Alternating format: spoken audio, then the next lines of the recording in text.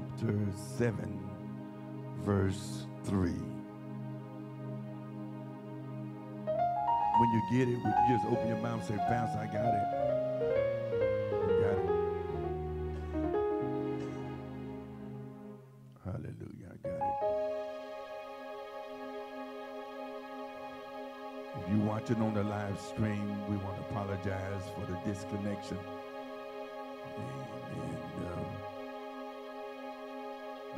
Also, will you turn with me to 2 Kings chapter 7, verse 3? And the Bible reads like this. And there were four leprous men at the entering end of the gate. Someone say, there were four. And they said one to another, Why sit we here until we die? Look at your neighbors and neighbors and You ain't dying today. Something will die, but it won't be you. Glory to God. Jesus.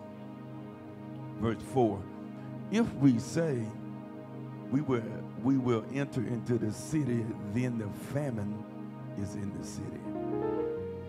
And we shall die there. And if we sit still here, we also, we die also. Now therefore come and let us fall unto the host of the Syrians. If they save us alive, we shall live. And if they kill us, we shall but die. Verse 5. And they rose up in the twilight to go unto the camp of the Syrians. And when they were come to the uttermost part of the camp of Syria, behold, there was no man there. Look at somebody that said, There was nobody there. There was nobody there. For the Lord had made the host of the Syrians to hear a noise of chariots and a noise horses, even the noise of a great host. And they said one to another, Lo, the king of Israel hath hired against us the kings of the Hittites and the kings of the Egyptians to come upon us. Verse 7. Wherefore they arose and fled in the twilight. Watch what they left. They left their tents, they left their horses, they left their asses, even the camp as it was, and fled for their life. Jesus. I'm going to be preaching today from this subject that's entitled Stuck Between a Rock and a Hard Place. Will you please repeat those words after me? Say, stuck between a rock and a hard place. And then I want to thank you and just open your mouth. Everybody need to say this. Say, God, pull me out, pull me out, pull me out. say, God, pull me out, pull me out. Amen. Touch about three persons and tell them you coming out today with your hands up. Come on. Tell them, say, you coming out today with your hands up. I said, you coming out today with your hands up. Even more so than that, you coming out today with your head up. Come on. You know, lift, come on. I said, you coming out today with your hands up and your head up. Glory to God. The Bible said, lift up your head, O ye gates, and be lifted up, you everlasting doors, and the King of glory shall come in. Who is this King of glory? The Lord strong and mighty. The Lord mighty and thank you to my the Lord strong and mighty. The Lord mighty in battle. Will you push somebody say lift up your head? Come on, say lift up your head because God is getting ready to pull you out. Ah, I said, God is getting ready to pull you out. And when he pull you out, he's going to pull you up. I need to open your mouth and say, I'm getting ready to, to go up. Jesus. I'm going up. I'm going up. I'm going up. Reach up and grab your neighbor and say, neighbor, this time, when God pull you out, he's going to pull you up. Jesus. You've been down too long. God said, I'm about to pull you up. You've been, I said, you've been down too long. God said, I'm about to pull you up. I need somebody open your mouth and say, pull me up, pull me up, pull me up. Somebody open your mouth and shout in this house now. Shout. Jesus. Pull me out. Pull me out. God, pull me out. Spirit of the living God, have your way in this place. Send your word like a mighty hammer that would break rocks into pieces. Glory to God. I said, send your word like a mighty hammer and break these rocks into pieces. Glory to God.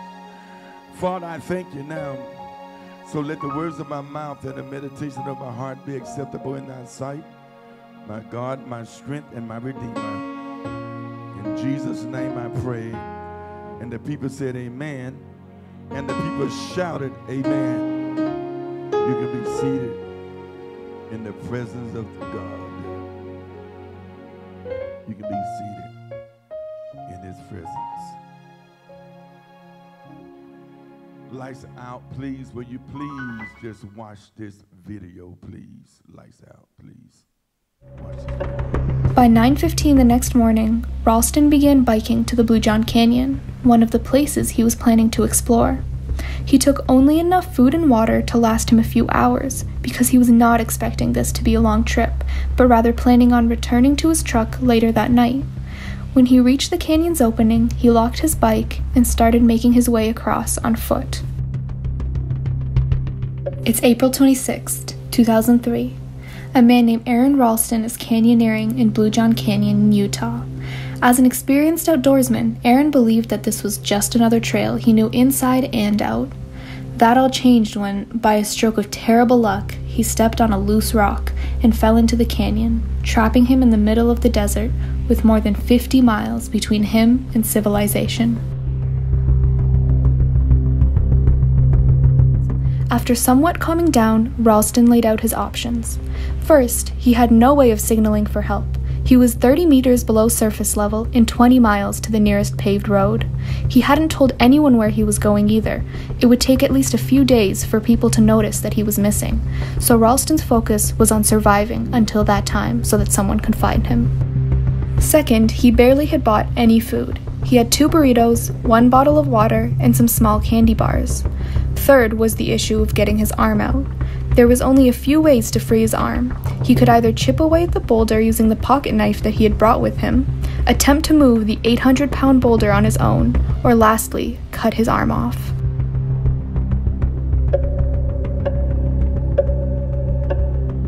Ralston spent the whole night chipping away at the boulder. Little by little, he did his best to cut away the rock that was trapping his arm. After around 15 hours of chipping away at it, he realized that there was no way he could cut enough rock to free his arm. With this realization, Ralston turned his attention to the second option, moving the boulder off of his arm. He made a makeshift pulley system using a rope that he had brought with him, but with only the strength of his one free arm against an 800 pound boulder, the situation did not change and he remained trapped. Ralston's physical health had also begun to deteriorate as his body temperature became unpredictable due to dehydration. I have very, very little water. My body's having difficulty controlling its temperature. I'm in deep stuff. This is when Ralston started to lose hope. It's pretty much suicide. It's uh, four hours from here to my vehicle. He'd been running low on food and water and started recording videos on his camcorder. Ralston had the idea of cutting his arm off for a few hours now, so it seemed like that was his last option. Climbing was probably be impossible with one hand. The blood loss and my dehydration, I think, um, are ruling that out. I think I would die if I cut my arm. The next day, after considerable thought, Ralston laid out the tools that he would need to cut his arm off. He took out one of the two knives from his dollar store pocket knife and tried to break the skin. As he says in the video he made using his camcorder, he could barely get any blood to draw. Jesus. I tried. I tried cutting my arm off. I couldn't even barely break the skin with this, this stupid knife. I tried a couple different blades, and all I did was just mark myself up. Like, mm. I could barely even get any blood to draw.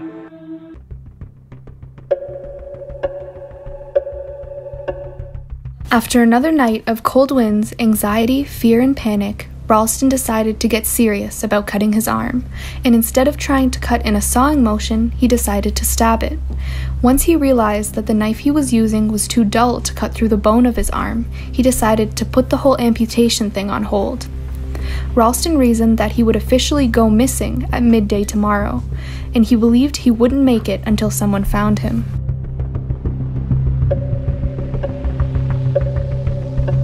On Wednesday, Ralston really started to confront the possibility of death. He recorded himself saying goodbye to his family and friends and saying his last will and testament. He claims that the majority of the day was spent daydreaming about his life. On Thursday, it had been five days since Ralston initially fell into the canyon, and he had resorted to drinking his own urine due to the lack of water. He began thinking of his escape route again and realized that he didn't have to cut through his bones with a dull knife that he had. Instead, he found that the boulder was positioned so that Ralston could break the bones in his arm himself, and then cut through everything else. That's exactly what he did. It, it, it came to me, this, this epiphany that I could break that I could break the bones eh, because my arm was caught so tightly that I could torque myself. He would have to snap both of the bones in his arm to make it work. It took him over an hour to finish the job. Finally, after Ralston had cut through his entire arm, including arteries, nerves, and tendons, he staggered backwards, hitting the wall behind him. This was a pivotal moment for him, as he described the moment as a rebirth, but with the mind of a grown man. And then, boom, and I wasn't even attached anymore, and I fell down like this, and I, I, uh, I, I was free. Now that Ralston had freed himself from the boulder, he was tasked with hiking out of the canyon and walking all the way back to his truck, some eight miles from his current location. With one hand losing blood, Ralston pulled himself out of the canyon, climbed down a 65 foot cliff, and walked six miles until a family who was hiking found him and notified authorities. Medics reached Ralston by helicopter four hours after the amputation. If they had waited any longer, Ralston would have died due to blood loss. After one of the most harrowing experiences known to man, Aron Ralston can now live his life as he intended. He is now a motivational speaker and an engineer, and he's also written an autobiography called Between a Rock and a Hard Place. His story has also sparked interest around the world, making his book a bestseller and even adapting it to a hit film called 127 Hours.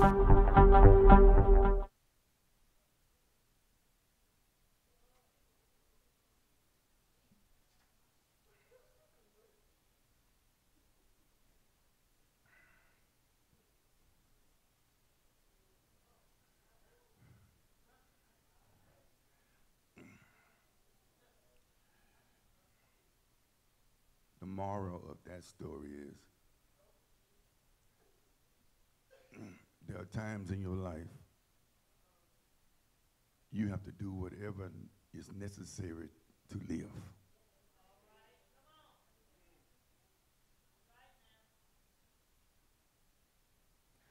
In April 2003,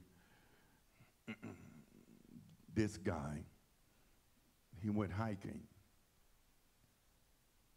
He went hiking in a park without telling anyone that he was going hiking. Um, and while hiking, he, he gets pinned between a rock in a canyon while climbing. If you notice, he, he, he was hanging off the rock while climbing, comes loose, and it caused both the rock and himself to get wedged and trapped his arm against the wall. this going to make sense in a little bit. And after spending five nights in the canyon, in danger of dying of hydration, or dehydration, rather, he, he begins recording his final testimony to his family because he knew it was no way he was going to live. And over the next five days, he, he struggled to keep warm at night, and he had to, he forced himself to drink his own urine.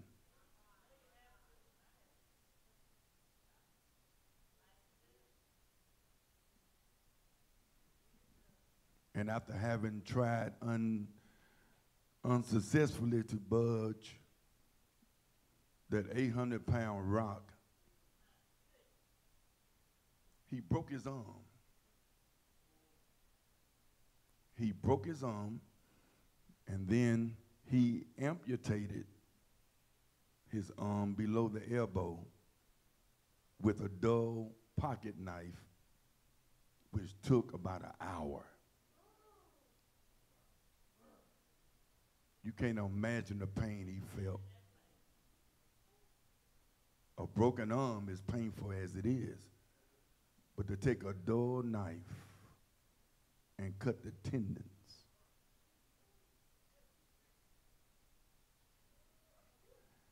And what Aron knew that no one knew that he was stuck between a rock and a hard place. And what's incredible is, is that Aron Ralston incident is a true story. And it was famously depicted in the movie 127 Hours in November of 2010 how he pulled himself out of a dying situation.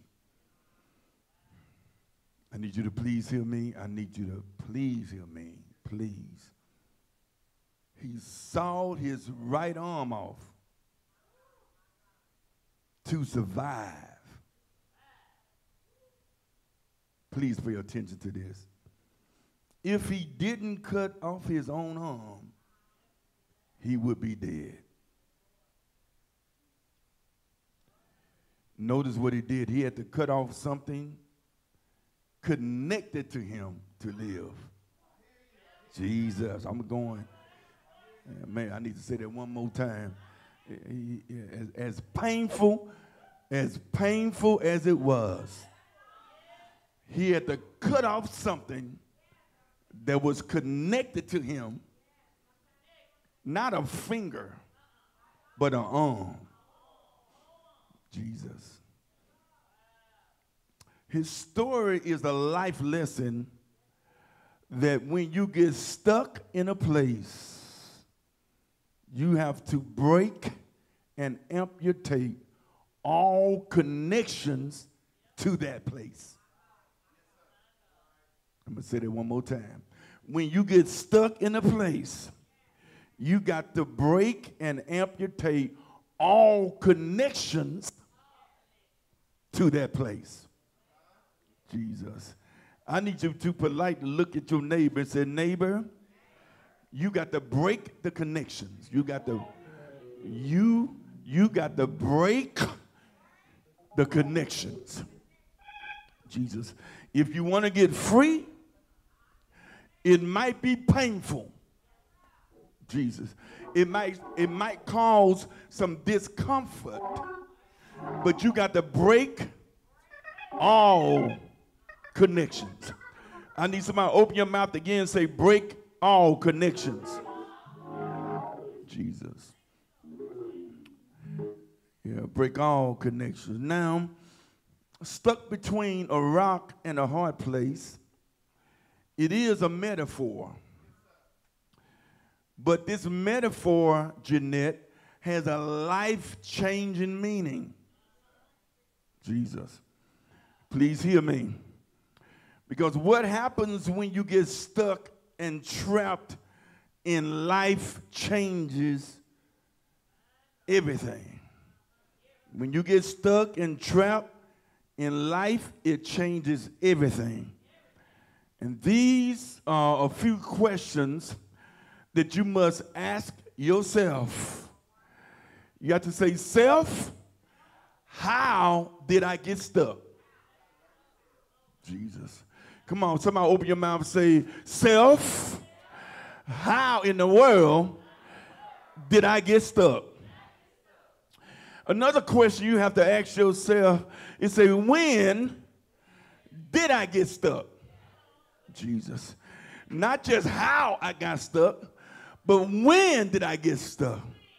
Yeah, some of y'all are stuck right now. You need to ask yourself a question right now. When did I get stuck? Jesus.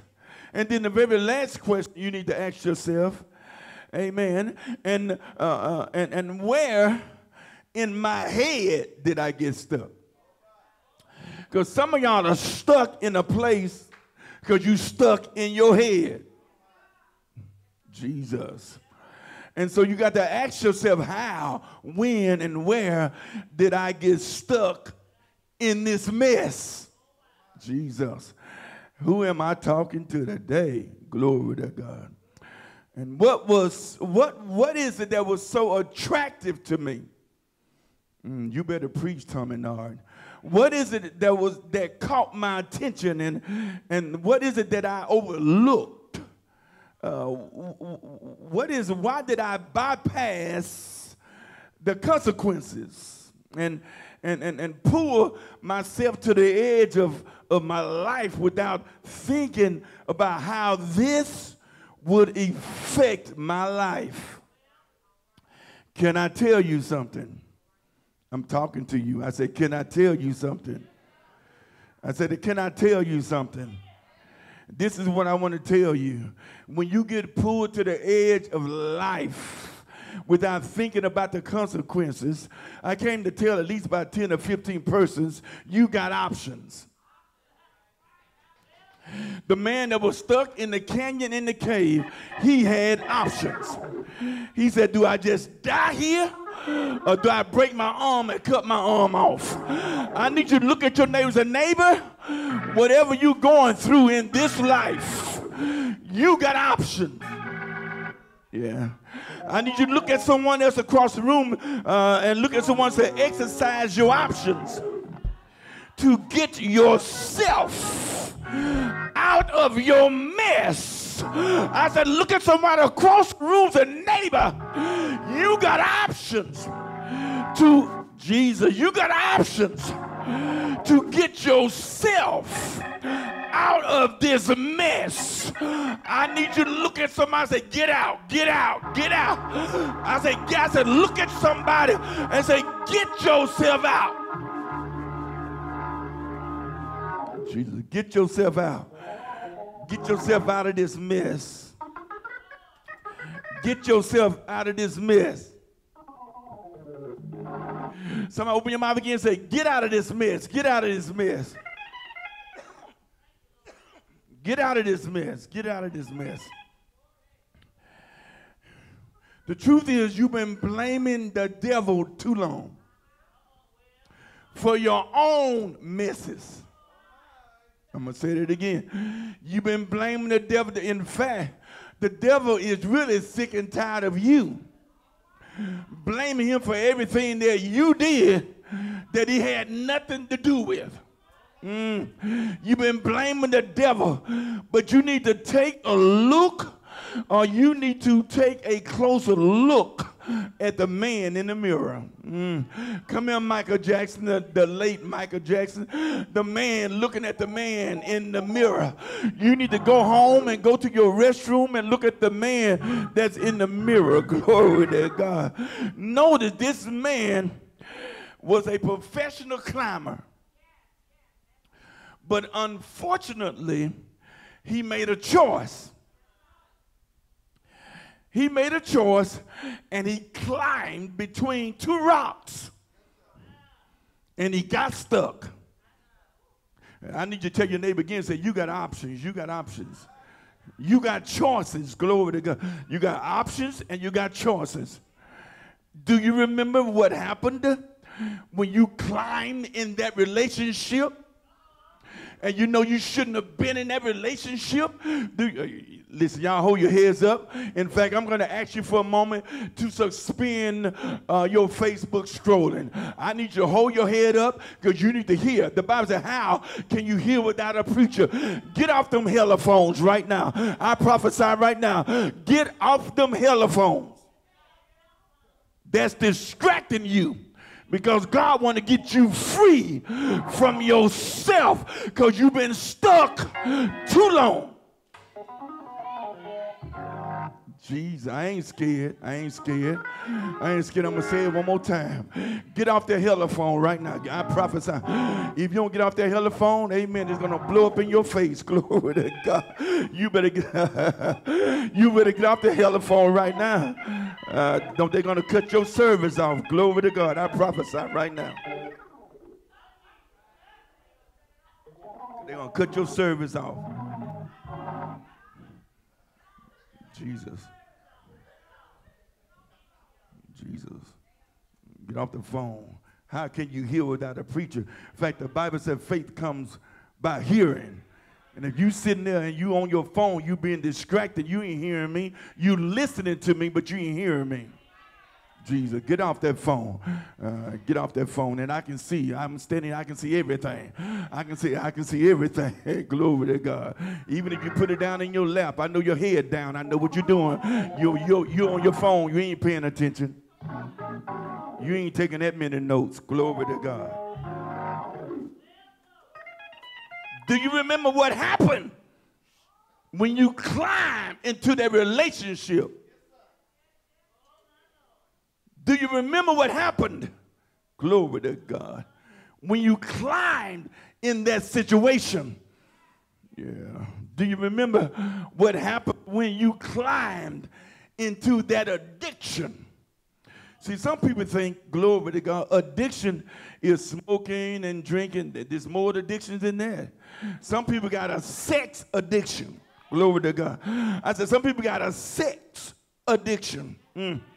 Uh, a sexing addiction. Mm. On, even on your phone, sexing. Glory to God. Some folks got an addiction. Glory to God. Hallelujah. Do you remember what happened when you climb into that addiction? I need you to look at somebody say, sooner or later, it's going to stick you. Jesus. Sooner or later, it's going to burn you. Sooner or later, it's going to stick you. Glory to God. I need you to look at somebody polite and say, Don't get stuck. Don't get stuck. I said, Look at somebody and say, Don't get stuck. Don't get stuck. See, I know people stuck. I know people that stuck in religion and traditions. I know him. I know him. I know. I know people that stuck in religion and traditions when God is doing a new thing in you. Mm. I know people, glory to God, and you know people too, that is stuck in old mentalities and old mindsets when you ought to be transformed by the renewing of your mind. I know people stuck, and you know people stuck too, in old belief systems when you ought to have enough faith and enough substance to hope for the evidence of things not seen. I know people stuck in old wine skins like the Pharisees that lived like old wine skins. Jesus said something like this when new wine was poured in the wine, the wine skins would break apart and the wine was wasted. I need you to open your mouth. I, I really need you to open your mouth and prophesy. Open your mouth, say, stuck in between a thing. Come on, say it again. Say, stuck in between a thing will waste my life. I need you to open your mouth and make the devil really mad this time. Open your mouth and say, when I'm stuck between two things, glory to God, it will waste my life. Now grab your neighbor and say, no more, no more, no more waste in your life. Let me prophesy. No more waste in my life. You're not gonna you're not gonna waste another day in your life. You're not gonna waste no more money in your life. You you're not gonna you you're not gonna waste another relationship. You're not gonna waste another moment to get close to God. Look at your neighbor and no more waste in my life. No more waste in my life. No more waste in my life. No more waste in my life. Jesus, God, I hear you. No more waste. You wasted too much time, Jesus, going around in circles. You waste too much time with your head in the sand. You wasted too much time trying to be friends with somebody who ain't really ain't really trying to be your friend. You wasted too much time with somebody you giving 90% and they only giving 10%. You wasted too much time with someone that won't won't tell you. They tell you they love you but they, they don't have no actions that they love you. You wasted too much time with, with people who want stuff from you, but won't give you nothing. You wasted too much time with that knucklehead. Glory to God. You wasted too much time. Look at your neighbor and say neighbor, that's too much time. Yeah, that's too much time. Spending time with people ain't going nowhere. Spending time with people who ain't trying to reach their fullest potential. Wasting too much time with people. All they do is talk negative in your ear. Spending too much time, wasting too much time with negative, talking negative, thinking negative, acting people. Your day is over. I prophesy this is your last day to spend another time and waste your time time with anybody who's negative in your life. Open your mouth say, Today is my last day. And I feel like preaching. I said, Today is your last day.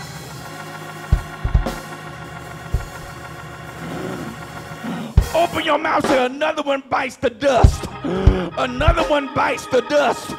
This is the last day that I'm going to deal with that foolishness. This is the last day that I'm going to waste my time.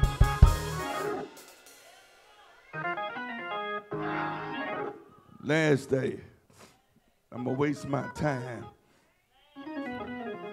And so the Bible says in 2 Kings chapter 7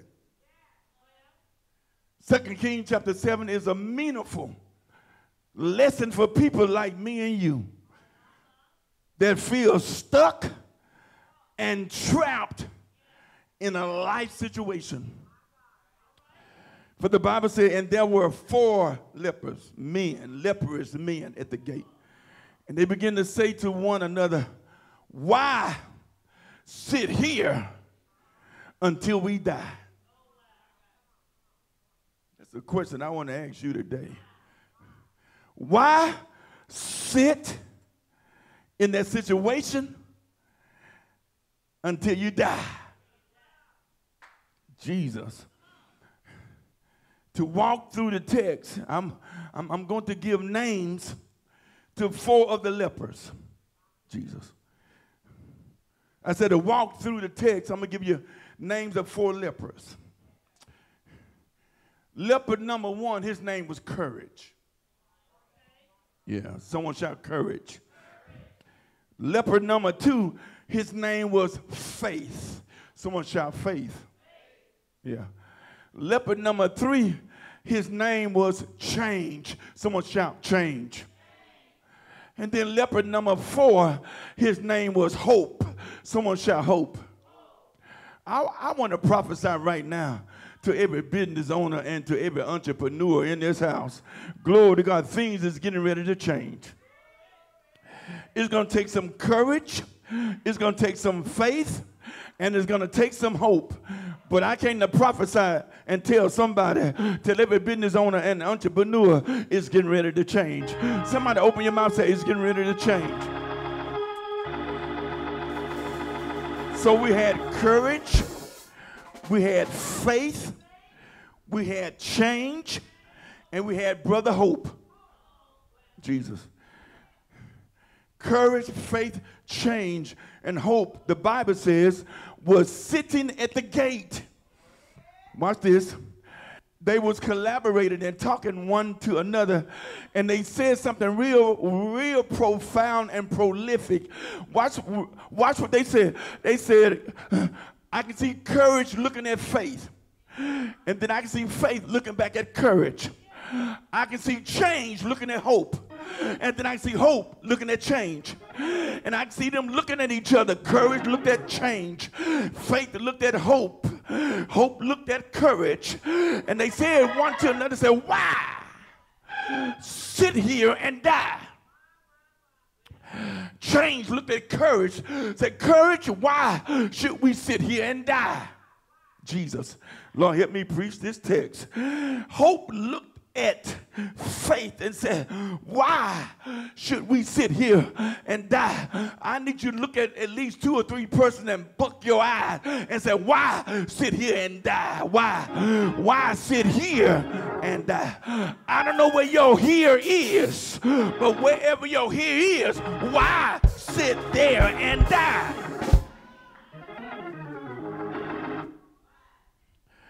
So when you get stuck between a rock in a hard place, number one, you need courage to take action. Will you please repeat that after me? Say, I need courage to take action. Amen. So when you get stuck, amen, between a rock and a hard place, place, you need courage. Watch this. The lepers, despite their dire situation, are y'all still here? I said, Are y'all still here? I want to make sure you hadn't gone into Wonderland. Are y'all still here? The lepers, despite their dire situation, watch this, they chose to take a bold step. Yeah. Rather than remaining in their hopelessness or hopeless situation, they chose to make a bold step. Lord, help me teach this. I say they chose to make a bold step. Look at somebody said, neighbor said, you got to make a bold step. In, oh, here it is right here. I'm prophesying to somebody. In this next season in your life, you're going to have to take a bold step. It's time out for you taking baby steps. You've been taking too many baby steps. Amen. You too old now. It's time for you to take some bold steps. I understand you took some baby steps way back in the day. You ought to be over there by now. You ought to be walking by faith and not by sight. It's time for you to take a bold step. Look at somebody say, take a bold step. Jesus. Jesus. Please, please, please get this they had enough courage to take action and make decisions even when the outcome was uncertain. Moving, and you better hear me. Yeah, look this way, look at me, look at me, look at me. Please get this. Moving forward is better than staying in a paralyzed position. You better hear what I'm preaching. I said, moving forward is better than staying in a paralyzed position. Perhaps this is why Psalm 27, verse 14 says, Glory to God. Wait on the Lord. Be of good courage. Did y'all hear what I just said? See, y'all been waiting on your friends. Jesus, and you, and you don't got it all confused. But the Bible says, wait on the Lord. Not your friend, not your eight spoon coon, not your late in the midnight hour, not him climbing out the window, not him or she coming in the back door. Wait on the Lord. Of good courage. Jesus. And he shall strengthen thine heart. But you can't get your heart strengthened if you don't wait and don't have no good courage. Wait, because he wanted to make sure you really understood what he said when he said it the first time. So he said, he said again. He said, wait, I say, on the Lord. Look at they said, neighbor said, who you been waiting on? Who you been waiting on? I said, I said, I said, look at neighbor said, who you been waiting on? It's time for you to start waiting on folk and start waiting on people and start waiting on people. Glory to God and start waiting on God. Look at neighbor said, neighbor said, I'm gonna wait on God. Come here, Job. I just heard Job say, I'm gonna wait until my change come.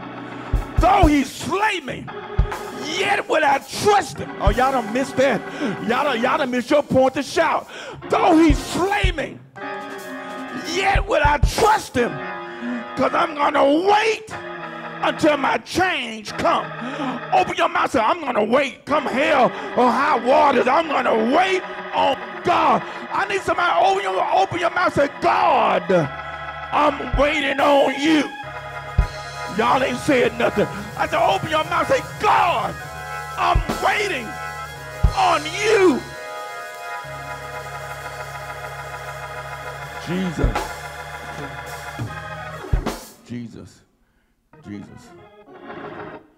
I'm asking God to give you enough courage to take action. To give you enough courage to take action. Because in this season, I don't know who I'm talking to, but in this season of your life, actions has to speak louder than words. Words have power, but you need some actions. Glory to God. Are you hearing what I'm saying? If God said, get up and go to the grocery store right now, you better get up. And you ain't got no food on your table, you better get your rump up and go to the grocery store right now. Are y'all hearing what I'm saying? Jesus, glory to God. You need action. And so when you get stuck between a rock and a hard place, number one, someone shout again, say, I need courage to take action. Say it again, say, I need courage to take action. Number two, when you feel stuck in a place, you need faith in the uncertainty. Say it with me. Say, I need faith in the uncertainty. Say it again. Say, I need faith in the uncertainty. Watch this. The, the lepers did not know what awaited them in the Syrian camp. They had no idea. Jesus, they, they didn't get an email. They didn't get a text message. Are y'all hearing what I'm saying? There was no bird in the sky that brought a message. There was no message in the bottle. They had no idea. Are y'all hearing me? What awaited them in the Syrian camp. But the Bible said they moved with faith. I want to ask a question. When, when was the last time you moved? I said, when was the last time you moved? They moved in faith, trusting God's provision and guidance. Even when the future to them seemed, God, seemed unclear. Jesus. See, some of y'all saying, God, I need you to show me this. God, I need you to show me that. God, I need you to show me this. I need you to show me that. God, I just got to see this. God, I'm going on a two-day fast. I need you to. Shut up and say, God, whatever you want to do, do it in my life. Do, are y'all hearing what I'm saying? Shut up, because God is trying to do something in your life. Are y'all hearing what I'm saying? The lepers did not know what awaited them in the Syrian camp. But when the future seems unclear, your faith in a wise God will help you see the invisible. It'll help you to expect the incredible. Y'all know where I'm going. It'll help you to receive the impossible. And I need a faith, Jesus, I need a faith to reach the unreachable. Y'all still here? I need a faith to fight the unbeatable. I need a I feel like preaching up in here. I need a faith, glory to God, to remove the unmovable. I need a faith that stands the invisible. I need a faith that can conquer some things. Some things. I said, I need a faith that can conquer Someone open your mouth and say anything. Anything. God can do anything but fail.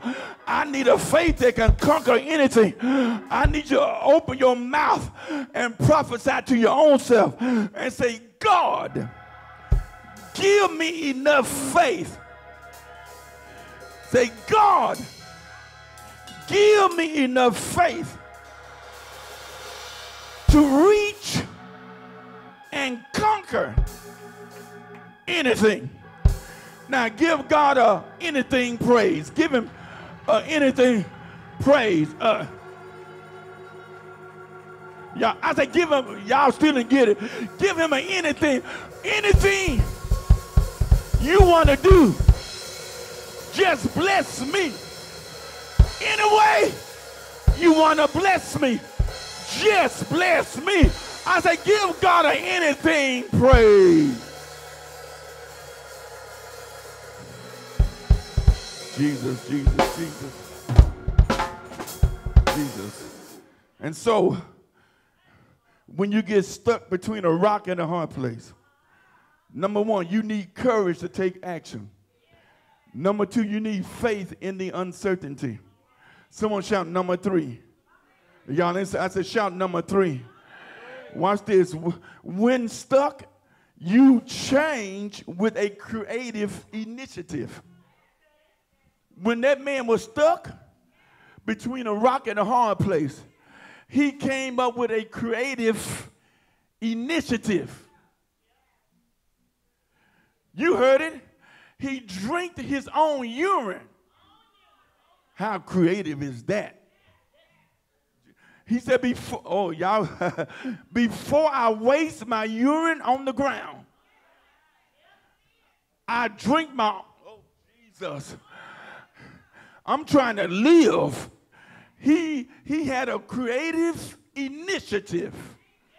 Watch this. The lepers' decision to go into the camp, watch this, it led to a miraculous discovery that changed their lives and the lives of those that was in the city. Please get this, and don't you miss this, which means your breakthrough, I don't know who I'm talking to, your breakthrough will only come when you step out.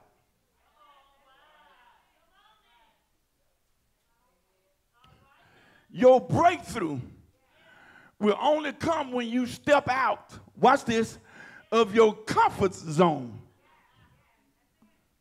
Step out of your comfort zone and take initiative. Y'all back on them phones again. Uh, step out of your comfort zone and take initiative. Somebody shout, step out, step out.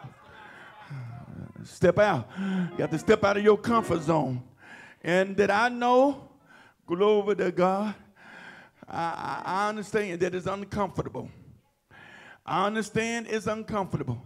But you got to step out of your comfort zone and take initiative. See, you stuck in that place because you won't step outside of your comfort zone. But if you want to unstick yourself, glory to God, Jesus. If you want to unstick yourself, you got to do something uncomfortable. I said, if you want to unstick yourself, you got to do something uncomfortable. I need you to open your mouth and say, God, help me to change and unstick myself. Say it again. Say, God, help me to change and unstick myself. Jesus, unstick myself. And so when you get stuck between a rock and a hard place, number one, you, you need courage to take action. Say it again, say, I need courage to take action. Number two, when you get stuck between a rock and a hard place, amen, you need faith in the uncertainty. Come on, say, I need faith in the uncertainty. And then thirdly, when you get stuck between a rock and a hard place, you need to change. You, you, you got to change through a creative initiative. And then finally, number four, Jesus. Some, someone shout four. Gee, come on. Come on, shout four.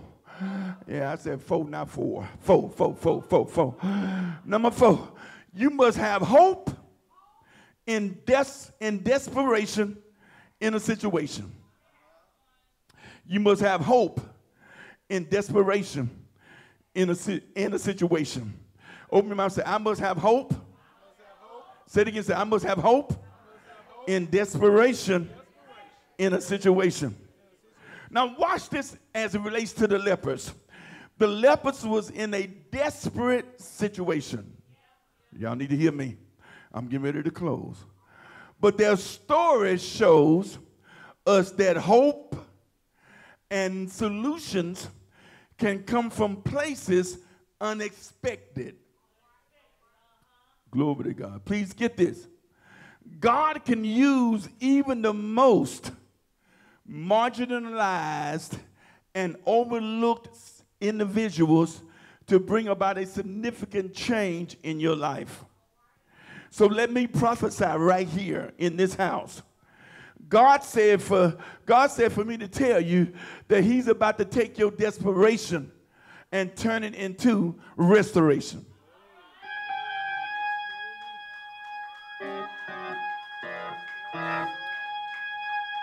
Y'all missed that. I said, God is about to take your desperation and turn it into restoration. God is about to restore, and I'm going back to last week what Pastor Demetrius said.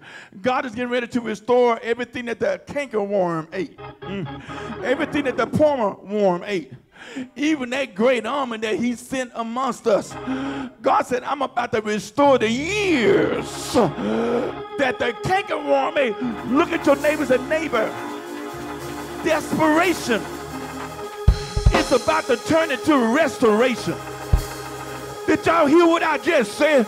You better prophesy to your own life, to your own family. That desperation is about to turn into my restoration. Open your mouth say, God, restore me. Let me prophesy. Restore your money. Restore your income. Restore your health Restore your life. Restore your mind. Restore your health. God is about to restore. Restoration just hit somebody. I said restoration just hit somebody that will shout. I said restoration just hit somebody that will open your mouth and shout. Y'all missed it. I said restoration is about to restore somebody that will open your mouth and shout, that will clap your hands and shout, will stand on your feet and shout. Glory to God. Open your mouth and shout. Shout.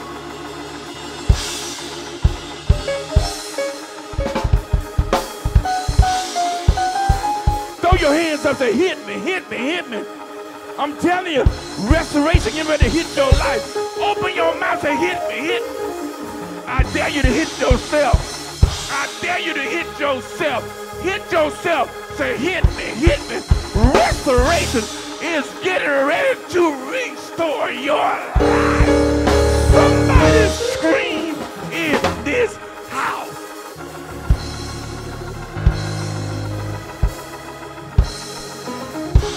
Open your mouth, shout. Y'all tired? Y'all tired? Y'all tired? It took seven times for that wall to come down. The wall came down and the people went up. The walls came down and the people went up because they shouted. I said the walls came. The walls fell flat and the people went up. Open your mouth and shout one more time. Shout.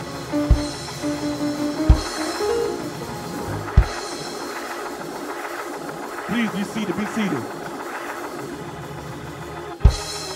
I'm almost done. Oh my, I felt the anointing right there.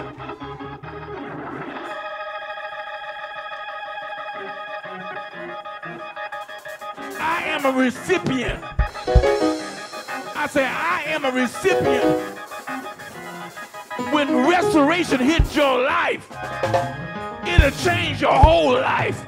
I say, I am a recipient. When restoration hits your life, it'll change your whole life. From the crown of your head to the soles of your feet. Bless going in, bless going out. Open your mouth and shout again. Shout, shout, shout.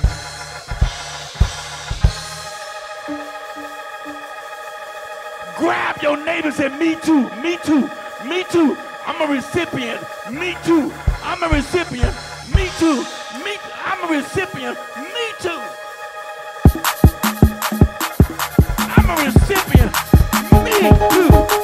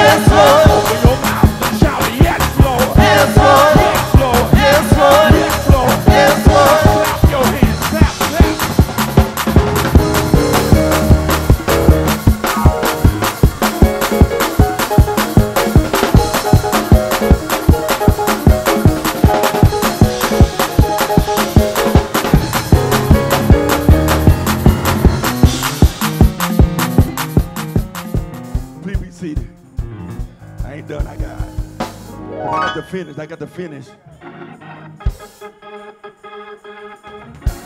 Watch this. And when I finish, Watch this. We are going to resume where we were. Y'all missed it. I said, when I finish, we're going to resume where we were. Jesus. The Bible says that when courage, faith, brother change, and sister hope. I said the Bible says when when brother courage, sister faith, brother change, and sister hope, while stuck between a rock and a hard place, they entered the city during a famine. I, oh yeah, let me prophesy right here. It, it ain't what it looks like. It's not what it looks like. I'm, I'm, I'm going to prophesy right here. The presidential race ain't what it looks like. Glory to God. Jesus. Glory to God. It ain't what it looks like. They said to themselves, if we go into the city, we die there. And if we sit here, we die here. If I go into the city, we die. If we sit here, we still gonna die. Jesus. Watch this. If we fall into the hands of the Syrians, if they let us live, we live, and if they kill us, we die. That's that's that's between a rock and a hard place. Okay. All right, Pastor. What are you saying? If I pay my electric bill, I ain't gonna have no food to eat. if I don't pay my electric bill, I ain't gonna have no lights and no electric.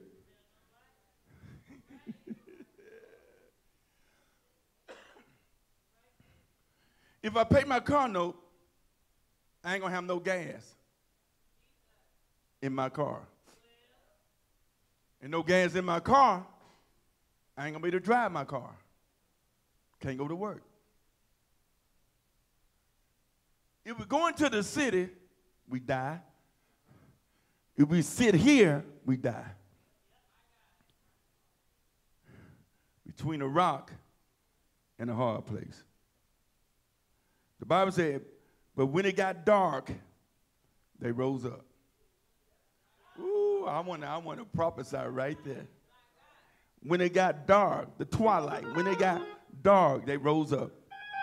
Some of y'all in situations right now and it's dark. I came to prophesy to at least two or three persons. It's time for you to rise up. In the midst of your dark situation, in the midst of darkness, it's time for you to get up. Look at your neighbor say, neighbor, get up. Get on up. Jesus. I know it's dark, but you got to get up. I know it's uncomfortable, but you got to get up. I know everybody's talking about you. Don't say ugly things about you, but you got to get up. I know that you have not figured it out, but you got you still got to get up. I know you don't know where your next paycheck is coming from, but you got to get up. Waiting on your next paycheck. Glory to God. But you got to get up. Look at your name say, get up. I say, oh, open your mouth and say, get up.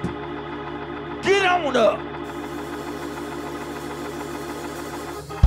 The Bible says it was when it got dark, they rose up, went into the uttermost part of the camp of Syria. Watch this and don't miss this. When they got there, it was no man there. Hmm? Wait a minute. This is the camp with men in it soldiers, warriors. But when they got there, it was no man there. Hold up. They've been outside the city hearing men talking hearing men making merry, hearing the horses and the chariots inside the camp. But when they got in, it was no man there. Jesus. God told me to tell somebody what you think is standing in your way, it ain't there. Y'all missed that. God told me to tell somebody what you think is standing in your way, it ain't there. It's all your imagination, because it ain't there. It's all in the back of your mind, but it ain't there. I need you to open your mouth and look at your neighbors and neighbor. The devil is lying to you because it ain't there. Come on, look at somebody say, it ain't there. The figment of your imagination, it ain't there. The Bible said when they made up in their mind and they went into the city, it was no one there. The lepers thought they were stuck in a hard place, but the Lord made, watch this, the Lord made. See, you were you worrying about your enemies. God is going to make them. The Bible said the Lord made Jesus. The Lord made them, are you hearing me? Made the host of the Syrians to hear noise mhm, of chariots and horses. In other words, their enemies was hearing something that wasn't even there. I can't prophesy. See, you worried about your enemy, but God gonna make them hear something that ain't really there. hmm Yeah, hear something that ain't really there. The Bible says when they thought what they heard, they left their tents, they left their horses, they left their donkeys, and they left their and they left the camp. Oh, y'all hear what I'm saying? And the Bible said they fled for their lives. Only because God made them to hear. Jesus. Because God made their enemies to hear. And this is for about 20 people who's coming out of a stuck position in your head. Y'all better hear me. I said, this is for about 20 persons in this house and watching on live stream. Glory to God, who's coming out of a stuck position in your head. That your that your enemy is about to hear noises of chariots and horses. If you will shout again one more time, I came to prophesy that the wealth of the wicked is laid up for the righteous. I need you've been stuck too long, not having enough. But God just made your enemies your footstool. I need somebody to open your mouth and say, No more stuck positions for me. I'm not going to be stuck no more in that position, not another day in my life.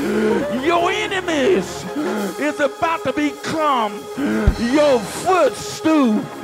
Look at your neighbor again and say, Neighbor, no more stuck positions in your life.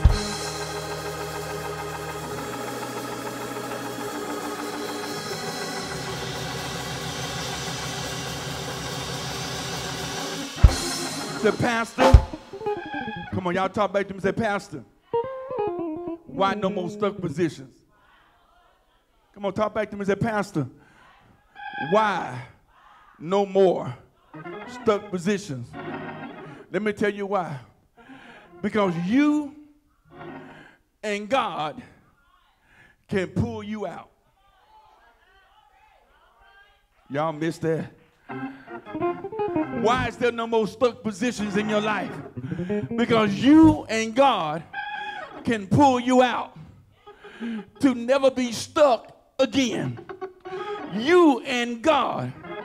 Yeah, T, I'm ready to close right here. Mm. You and God can pull you out. that you would never be jammed up again.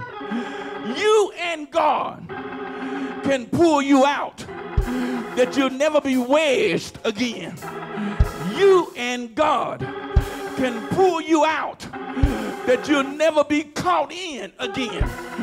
You and God can pull you out, that you'll never be glued in again.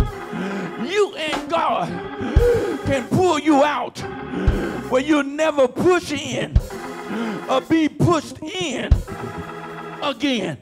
You and God can pull you out that you will never be forced in again.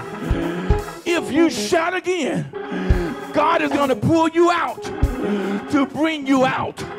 Somebody open your mouth and shout, God, pull me out. As I open your mouth, say, God, pull me out. Lift your hands, lift your hands. You'll never be stuck again. You'll never be jammed in again. You'll never be wedged in again. You'll never be caught in again. You'll never be pushed in again. You'll never be forced in again. Open your mouth, say, God, pull me out.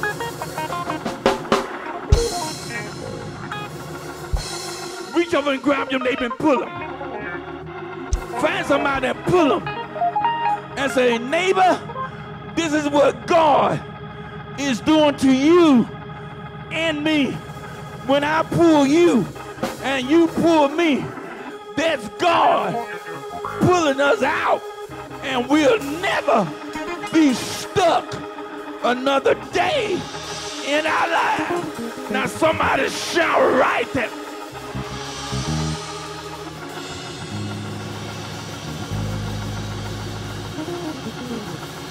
Somebody told me he'll lift your burden. Somebody told me he'll bring you out. Somebody told me he'll lift your burden. Somebody told me he'll break every chain. Somebody told me he'll break every fetter. Somebody told me he'll destroy every yoke. Somebody told me he'll bring you out. Open your mouth, say, God, bring me out.